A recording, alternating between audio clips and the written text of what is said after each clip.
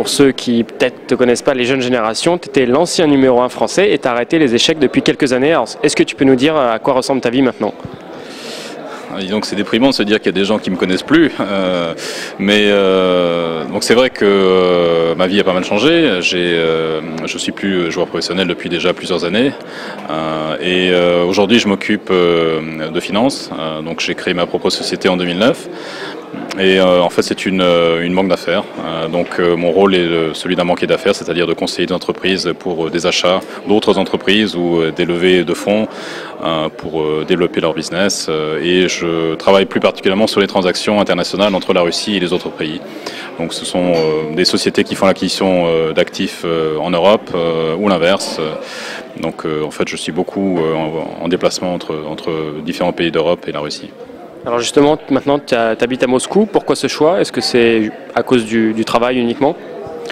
Oui, c'est principalement à cause du travail. Euh, en fait, lorsque j'ai décidé de, changer de carrière et de me lancer dans les affaires, euh, je pensais que la Russie était un bon endroit pour ça. Euh, c'était avant la crise, mais la Russie était déjà en pleine croissance. Et puis, bon, n'était pas, pas besoin d'être devin pour comprendre qu'en Europe, tout était beaucoup plus calme et beaucoup plus stable. donc, les perspectives de faire des choses rapides et intéressantes étaient plus, lointaines.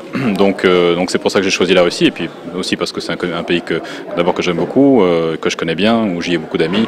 Donc c'était euh, pas très compliqué de démarrer là. Alors on va s'intéresser maintenant au, match et plus particulièrement à la partie d'aujourd'hui entre Anand et Gelfand. Tu connais très bien les deux joueurs parce que tu les as joués tous les deux. Euh, après 18 coups, qu'est-ce que tu penses de la position? Je crois que le dernier coup c'est tour FD1. Bah, je pense que clairement on est tout près de, l'égalité parfaite. donc il reste encore euh, peut-être un ou deux coups précis euh, à Nantes pour euh, simplifier les choses et qu'on arrive au match nul. C'est un scénario relativement prévisible en début de match. il est clair que Vichy, pour l'instant, rentre doucement dans le match ne souhaite pas forcément forcer les choses. Et Boris, de toute façon, a un style très solide. Donc, je pense que c'est pas pas très surprenant, mais euh, je, pense que les choses vont devenir euh, plus excitantes assez rapidement. Est-ce que comme la majorité des personnes, tu penses que Vichy euh, est le favori pour ce match? Oui, je pense que Vichy est, légèrement favori. je pense que c'est c'est pas tellement parce qu'il a plus d'expérience euh, des matchs de championnat du monde, parce que finalement euh, Boris a joué énormément de matchs de très haut niveau aussi, euh, même si c'était pas pour le titre mondial certes, mais je pense que c'est pas ça qui est déterminant. je pense que la différence elle est plutôt dans le dans le dans, le jeu lui-même, c'est-à-dire que je pense qu'un a un diapason un peu plus large, une palette plus large en tant que joueur. Il est capable de jouer de façon originale un plus grand nombre de positions, alors que Boris est quelqu'un d'extrêmement classique qui est très fort dans les positions techniques, euh, mais euh, qui, euh, je pense, réagira peut-être moins bien dans les situations un peu plus irrationnelles, un peu moins, un peu moins classiques justement. Est-ce que tu penses que dans les préparations, Anand est favori, parce qu'il a une grosse équipe derrière lui qui maintenant, bon, malgré tout, a l'expérience de ces matchs-là? Difficile à dire. Euh, je pense que vraiment les deux équipes se valent. Et puis euh, Boris, euh, évidemment pas le premier venu en termes de, préparation des ouvertures. C'est aussi un domaine où, il est très fort. non, je pense que je pense pas que ce soit, ce soit dans les débuts que ça va se jouer. à la différence, par exemple, du match Kravnik à Nantes, où c'est vraiment c'est le, comment dire, le passage à vide de, Vladimir dans la Méran qui, qui, lui a été fatal. Euh, donc on peut dire que ça s'est quasiment décidé sur un début. Euh, là, je pense pas que ce soit le cas. Euh, d'ailleurs, on voit un peu dans les débuts qui jouent. D'abord, ils se cherchent à, se surprendre mutuellement.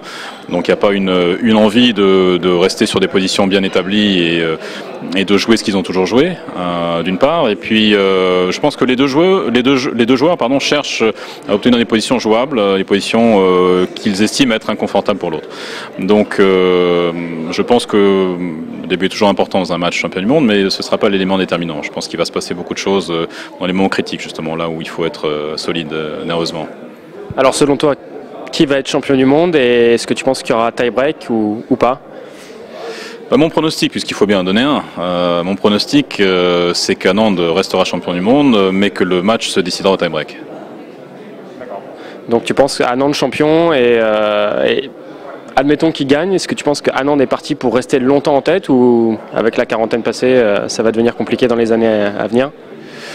Oh, je crois qu'on ne peut pas regarder plus loin qu'un match après l'autre, donc euh, ça va dépendre de son adversaire aussi, qui est-ce qui arrivera en face de lui. Euh, mais là, on est loin, là, parce qu'il faut déjà, il faut déjà qu'il résolve, résolve, le problème qu'il a maintenant avec Boris. Euh, donc, mais non, je pense qu'il a encore, oui, il a encore bien 4-5 ans de très haut niveau, clairement. Dernière question, le championnat du monde se joue à Moscou, il n'y a aucun russe qui, participe. Est-ce que malgré tout, toi qui connais euh, les gens, l'ambiance, il y a quand même une ferveur qui se dégage euh, du fait que ce tourne, le championnat se passe ici à la galerie Tretiakov, où il y a un petit désintérêt du monde que, par exemple, bah, Vladimir ne participe pas?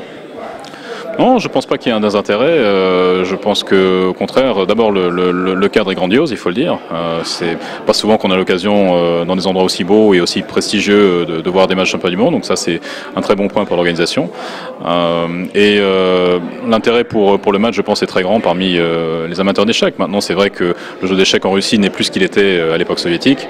on n'a plus des, foules en délire qui envahissent, j'allais dire les stades. Bon, c'est pas les stades, mais enfin les, salles où, se disputer les matchs, euh, parce qu'aujourd'hui le contexte du jeu d'échecs n'est plus le même, ça n'est plus une, sorte de miroir un peu de la vie politique du pays, euh, toutes ces choses-là appartiennent au passé maintenant, mais euh, néanmoins le jeu d'échecs est une, part très importante de la culture russe, donc bien sûr ça continue d'intéresser beaucoup de monde. Vraie dernière question, est-ce qu'on a une chance de te revoir devant un échiquier dans une compétition internationale? Ah, il faut jamais dire jamais, oui, pourquoi pas. Euh, c'est vrai que parfois euh, euh, j'ai très envie de, jouer une partie comme ça de temps en temps. et donc il n'est pas impossible que je rejoue des tours de partie rapides ou des, blitz, des choses comme ça. Quelque chose de plus sérieux pour l'instant c'est peu probable, en tout cas tant que j'aurai une carrière de business aussi active. C'est très difficile de trouver le temps. Merci Joël.